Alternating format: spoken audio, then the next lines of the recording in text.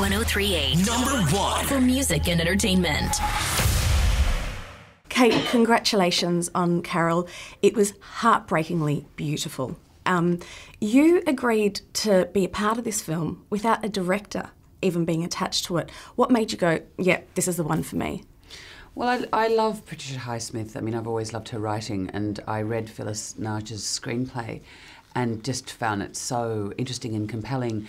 And that was quite a while ago, six or seven years ago. And you know, there were there were people attached and disattached, and it was up and on because it's been a very it's a fragile piece, and it, it really needed a very clear vision to make it into a film. So once Todd Haynes came on board as director, then it began to feel like something that we could all do together.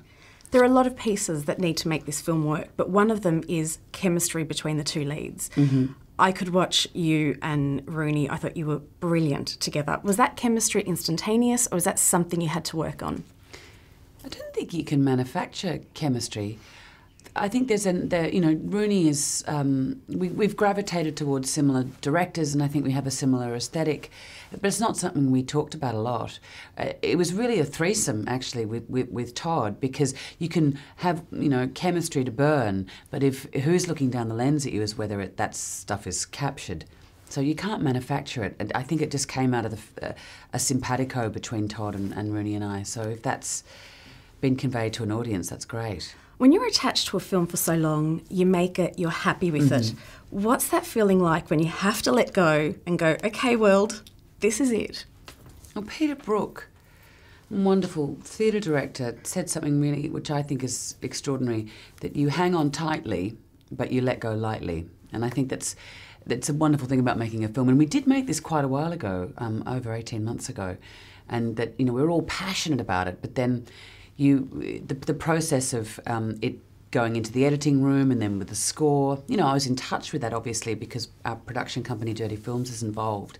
But you start to separate yourself from the experience of making it, and so you become more objective about it, which is great because I mean, objectively, I think Todd has made a really beautiful film. He really has. Um, mm. The outgoing boss of Film 4 said this took 11 years. yes, make. it did take a long time. Do you think in that 11 years, the attitudes, because one thing that really frustrates me is, you know, studio bosses going, any films with females in the lead or female centric stories mm. are not going to work at the box office. Mm. Do you think that attitude is finally starting to change? I think what's changing is that there's more um, female producers, independent producers, and more actors generating not necessarily work for themselves, but work that they're interested in. So I think there's a more there's more diversity of voices.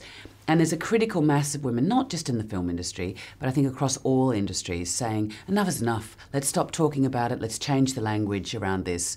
And and, and so I think it's um, the conversation's really boring. I think we just have to move on and, and start moving closer to equality finally yeah. in 2015. I know, can you believe it's taken so long? Mm. Um, there's a lot of Oscar buzz around this, especially for your performance in this role. Um, do the awards mean anything? I mean, you've won two.